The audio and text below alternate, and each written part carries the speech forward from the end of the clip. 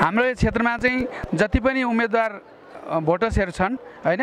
ती सबैजना चाहिँ उपस्थित हुन्छन्। अस्सी पर्सेन्टभन्दा बा बढी चाहिँ मतदाताहरूको उपस्थित हुन्छ भन्ने हाम्रो एकदम छ। तर हाम्रो यो क्षेत्रको समस्या भनेको चाहिँ हामी जति भोटर्स हुनुपर्ने त्यतिको चाहिँ नामावली नभएको कारणले राजनीतिक पार्टीहरूले चाहिँ त्यसलाई चाहिँ जुन निर्वाचनमा सहभागी गराउनु पर्थ्यो त्यो नगरेका कारणले भोट सङ्ख्या कम छ। त्यो कम भएको मध्येमा चाहिँ अस्सीदेखि पचासी पर्सेन्ट चाहिँ छ र हामी यहाँ एकदम सुरक्षित छौँ। सबैले हाम्रा आमा बुवा आमा वृद्ध वृद्धा अशक्तहरूलाई सबैलाई ल्याएर हामीले भोट गराइरहेका छौँ यस्ता यस्ता बुढाबुढी मान्छेहरू आइरहनु भएको छ।